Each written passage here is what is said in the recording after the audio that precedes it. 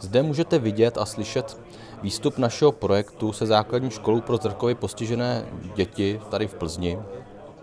Jde o automatické předčítání učebnic z matematiky a fyziky.